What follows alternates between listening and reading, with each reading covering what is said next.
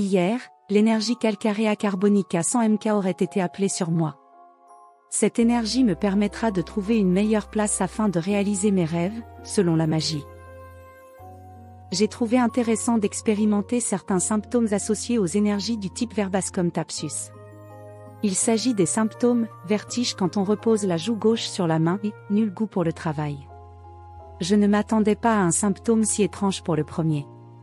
Concernant le second, dès que je veux travailler, une volonté de ne rien faire du tout m'envahit alors.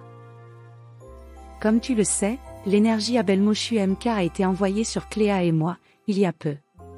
Hier, j'ai entendu par clairaudience, tes coccinelles vont mieux, celles qui sont dans ton jardin. Cette énergie apporterait plus d'harmonie avec tous les insectes. J'en suis ravi. Concernant les attaques anti-véganes, mon ordinateur a subi beaucoup de ralentissements avant que je publie la vidéo de ma précédente lettre à ce sujet.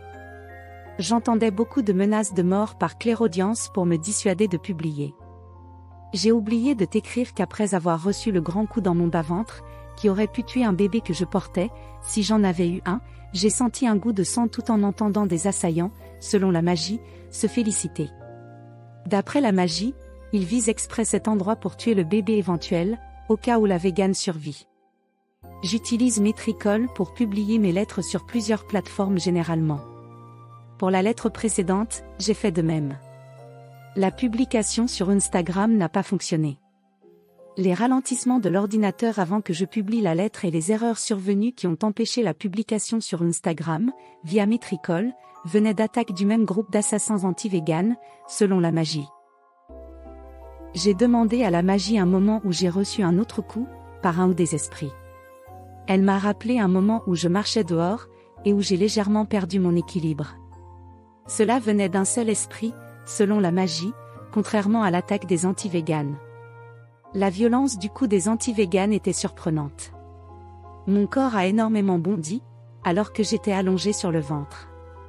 Suite à cela, un mage noir essaie de faire déferler les anti-véganes contre moi, selon la magie. Je suis sûr d'être protégé. J'avais indiqué à la magie un seuil de tolérance que je peux encaisser pour que les priorités soient bien gérées. En effet, si je prends un coup, mais qu'on protège d'autres âmes bienveillantes, alors cela me va. Nous prenons de tels coups ensemble, pour mieux les détruire. Selon la magie, quand nous avons peu de protection, nous sommes davantage visés par les malveillants, et cela permet de repérer les âmes malveillantes pour les détruire une bonne fois pour toutes. En effet, ceux qui ont des meilleures protections seraient moins visés et protégeraient un groupe d'âmes bienveillantes, dont je fais partie.